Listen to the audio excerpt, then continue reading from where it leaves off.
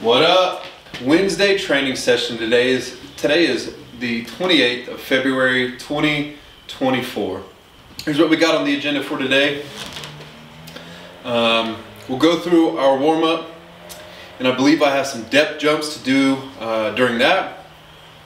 Then we're going to go through some muscle snatches. I don't know how heavy I'm going with those today. I don't think too awful heavy. Um, consider that just like an extended warm up and just an exercise that I want to try to get better at. I have I haven't ever done too much muscle snatching. Then we're going to get into squats and Romanian deadlifts. Wednesday is a day where I don't focus too heavily on Olympic lifts. That's also partly why I'm doing the muscle snatching today because I want Wednesday to be more about um, allocating good volume towards squatting and hinging. And if you do a, a really heavy, you know, intense Olympic lifting uh, exercise before that, then those tend to get um, lessened in terms of the intensity that you can devote towards them. So that's the reasoning behind all that. Let's try to keep any ramblings today on the topic of flow state. So anything that I talk about today, hopefully in between sets, will be on the topic of flow. I'll probably get off topic a little bit, which is ironic because we're talking about flow. Um, and flow is like all about being focused on one thing, but that is the goal for the day. All right, let's have a good session. You can't be soft all your life, Coach D. Or how he would say it, you can't be soft all your life. Thanks, Coach. All right, before we really get into the session for the day, comment below something that you have found out about yourself recently. Whether it be just through a little bit of introspection, maybe it was an aha moment, right? A growth moment. Maybe someone told you something that you didn't know about yourself. Comment something that you recently learned about yourself that you were going to use as a means for growth on the topic of flow state, before we like even really get into it, the speed bag is one of the greatest ways just to just like get your mind going in that direction of flow because it's so absorbing, right? All you're focused on is hitting this bag over and over again and it like drowns out every possible other thing that you could pay attention to. So this is a great way to get that started. Not only warming up the body, but also the mind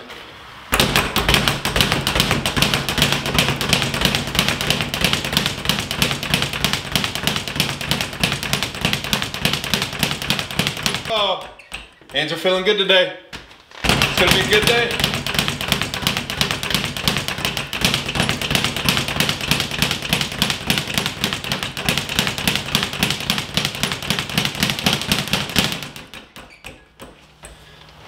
Wow, dude, you're so cool.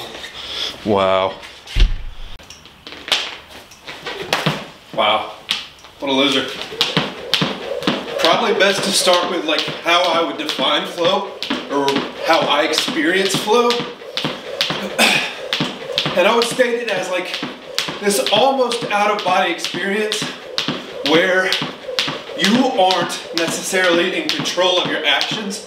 It feels as though you're being guided along whatever activity that you are participating in. And so it's like it's experiencing focus in such a way where like usually you have to consciously think about focusing and it's like up to you whether you focus or not, but it's taking focus to the point where focus just kind of takes care of itself and you're along for the ride almost. At least that's how I've experienced flow in its most intense states. That's like the highest degree of the spectrum, but there's also like levels of flow reaching up to that state. And that state right there is something that I've only ever experienced like literally maybe a handful of times, right? So that's not that's not the general state of flow that you will probably reach in the majority of your training sessions or whatever sporting activity you're doing. And it's probably not one that you want to be in either all the time. It's like, it's very consuming in a weird state to be in. Here's a good flow drill for you if this is what you want to call that. I'm going to stand on one leg and I'm just going to try to balance while also just putting myself in random positions, all right? I'm going to do that for each leg, like 30 seconds for each. so if we, if that was the most intense display of flow that I've ever experienced, what I just talked about, then I would say like generally the flow state you're gonna reach is just like a conscious effort to actively participate in whatever you're doing in trying to avoid distraction. Right? I better look crazy doing this right now. Like you're probably thinking, what is this guy doing? I promise. There's a there's a method behind the madness. Or is there? Am I just crazy? I don't know. Probably a little bit of both. Right? Low level of flow is just like saying to yourself, okay, I'm going to do this thing and I might not have full attention. There might be some distractions, but even re- like regardless of those distractions, I'm still going to participate in this activity and like just do the best I can with my attention. That's just like a base level of flow that you should be able to reach in any training session you're doing, right? If you can't like consciously commit to something like that, then um, I think your sessions will be lacking something uh, until you until you commit to really like having that threshold of attention on your session. Like ironically, here I am trying to talk about flow and do something else at the same time. Uh, if you really want to get into a flow state, part of that is limiting the amount of attention you're paying to other things outside of the activity that you're doing, right? So if I want to stand on one leg and work in different positions, whatever this goofy drill is I'm doing, that that should probably that should probably be the only thing that I'm doing. If I'm trying to articulate flow and do that at the same time, the bandwidth of my of my brain power is spread way too thin, right? So I need to only devote all of that energy to one thing. So let's try this drill again without talking, okay? Try that.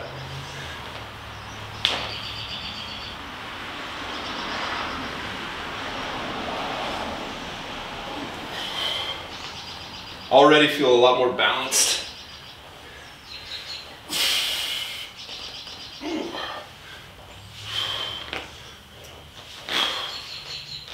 So a lot of it probably has to do with the reality that you are only capable of so much at one time. You can only handle so much information. And I'm not going to sit here and try to explain to you like if like I know what the depth of that information is, like I've heard it quantified in like eight pieces of information at once, but like what does information even mean like per second, like what you're able to consciously perceive. I don't know what any of that means, but I do know that that is like true in some sense. So like, as I'm doing this stretch, I can definitely try to talk about flow a little bit better than I was doing in that mobility drill because this stretch isn't as demanding in terms of my attention and the energy that it requires. But like still, I know that I'm not getting as good of a stretch as I would be if I were to just shut up and just try to experience this stretch for what it is not ramble on about flow while I'm doing it. For real though, this is one of my favorite stretches you could ever do for like nearly every part of your body. Especially if you just learn how to relax and kind of sink into it and let your spine to kind of like melt towards the floor. Absolutely amazing. This has been one of my favorite stretches as of late, finding like something you can put both your hands on and then just do some supported sissy squats. Trying to push my knees forward, touch the ground. Just bend as much as I can backwards.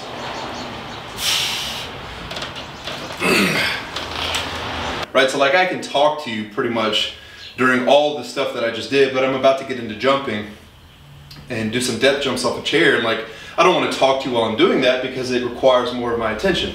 The things that I'm doing are demanding more and more of not only my body but my mind and like if I want to do them successfully I need to put as much attention as I can on these activities and less on anything else especially trying to articulate what it is that I'm trying to do.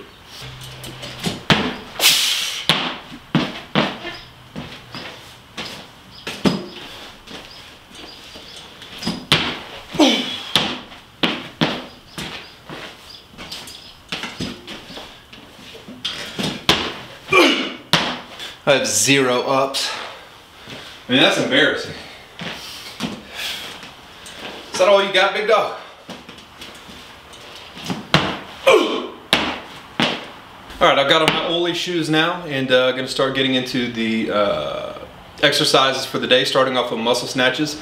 want to stop talking about flow because it's hard to talk about the thing that you're trying to get into when the thing requires that you like aren't aware of it so that you can actually get into it. It's this weird sort of like abstract thing, right? Flow state.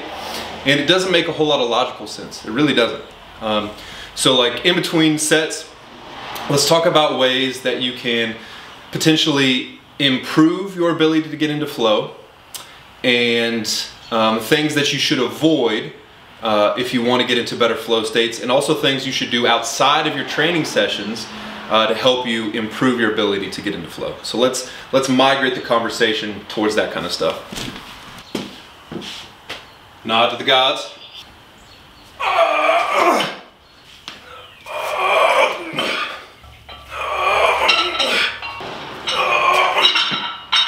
All right, so I think the first thing that needs to be addressed when talking about ways that you can potentially improve flow is understanding that the brain is extremely plastic, meaning that it can continue to develop and be influenced by stimuli even after uh, the brain is done developing in terms of like a physical age.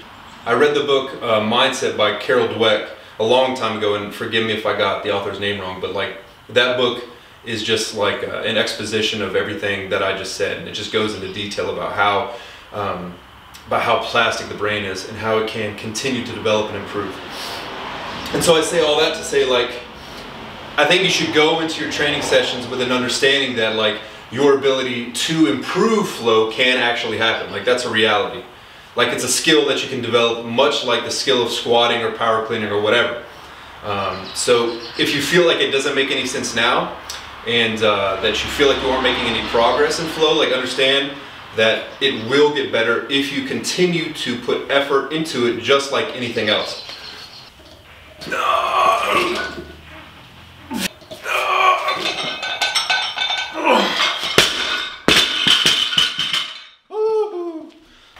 Squits! We got three sets of six here. Um, considering this like, uh, if you watch the first training vlog video, this is like the first week of a program. And so uh, generally don't want to like send it on the first week. Um, so I'm just going to build up to like at 7 RPE and probably will undershoot that and just kind of get in some buttery squat reps uh, for three sets of six. So 18 total reps. Check that math. Yep, that's good. Times tables.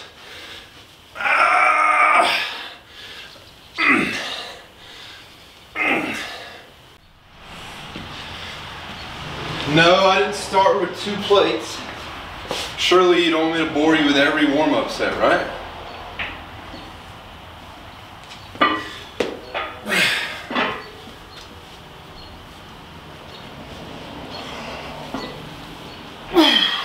I didn't realize how close to the camera I was getting there. This wide angle lens is trippy. Isn't it weird how like literally anybody now can just go buy a camera that's like professional grade just upload stuff on YouTube? That's crazy. Like me, I'm an idiot. What am I doing? I don't even know. I truly have no idea. I just feel an urge to do it, you know what I'm saying?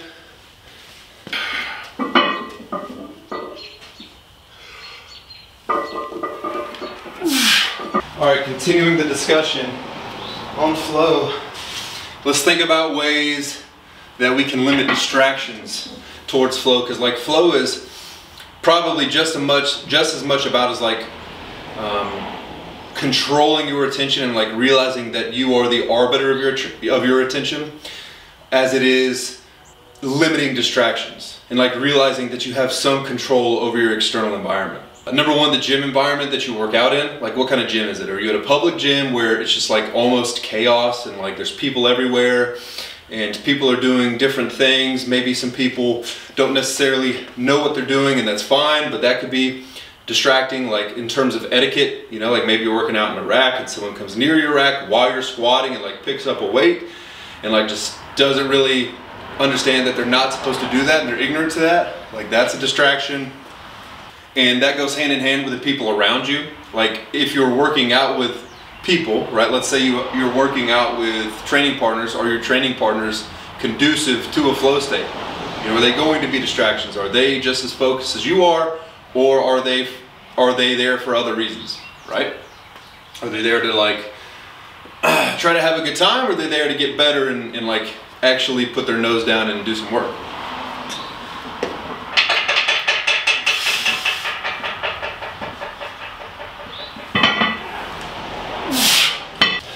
And then the big one, the obvious one is cell phones. Cell phones are the biggest distraction and the biggest potential detractor from a flow state.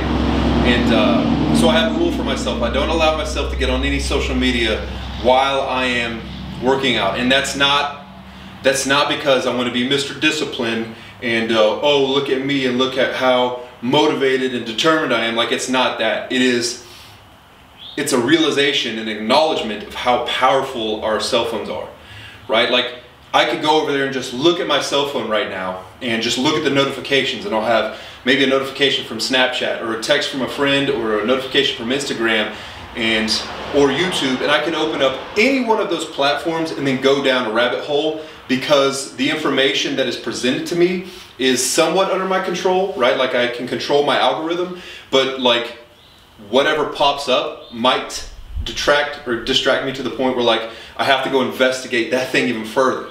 You know, and then I start scrolling, then 10 minutes goes by and I don't even realize it.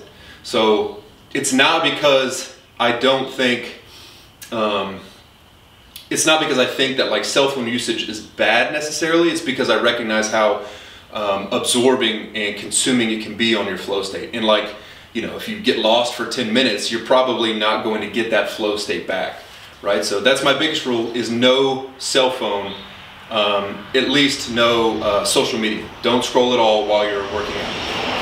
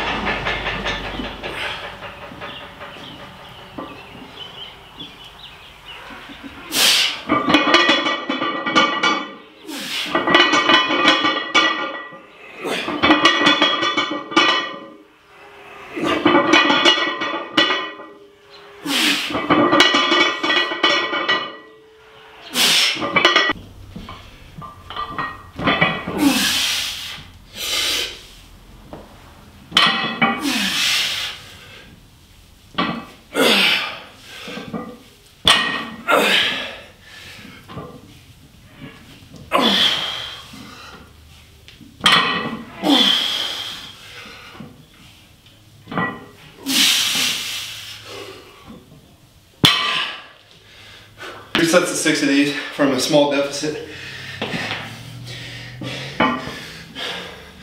And finally, just thinking of ways to set yourself up so that you're giving your body, your mind, uh, every opportunity to most like easily enter a flow state. Number one, uh, sleep. I don't want to harp on that too much. Right, like I think we all understand how important it is to get seven, eight hours of sleep. And you could definitely dive down several rabbit holes in terms of like the mechanisms behind why that's so important. Also nutrition, that one's obvious as well. And especially uh, micronutrients, vitamins and minerals, I don't know how I don't know how much um, like additional supplementation after um, getting in like the recommended daily allowance per day. Like I don't know how much that additional supplementation will help you if you have a pretty good diet in terms of like cognitive benefit. But I think it's pretty clear that like if you are potentially um, deficient in a micronutrient, then that could definitely affect uh, your cognitive performance uh, in a negative way. so I don't know, maybe maybe take a multivitamin, making sure you're eating a, a, a pretty wide diet um, consisting of a lot of different foods, you know, so that way you're uh, getting in as much micronutrients as you can. And then finally, I would give you, I would give your um, mind the opportunity to try to get into a flow state without physical activity. So you can kind of experience what it's like um, to just like be in a flow state because your mind is not, because your mind is concentrated um, regardless of whatever your body's doing. And the best uh, example I can think of that is reading. Right? You are completely inactive physically when you're reading, pretty much, right? and um, it's just an exercise in like concentrating your brain on this one thing. It's probably the best example of that. So try reading more. And then once you get lost in a book, like maybe try reading uh, like a, a fiction story, a novel, one where it's not like science based or you're trying to learn something, rather you're just trying to like visualize the story. Try doing something like that. And maybe I'm just brainstorming here, I don't know. The length to which you can visualize that story without any interruption is a reflection of uh, how strong your flow state might be. I don't know, that's just an idea. Don't quote me on that. All right, so this is a fun one, GHD like circuit. All I'm gonna do is go like, what? I don't know, counterclockwise or clockwise, back extensions, then gonna do one side, then the other side, and then straight up crunches. So whichever way you wanna work, counterclockwise, clockwise, I don't know. Here we go.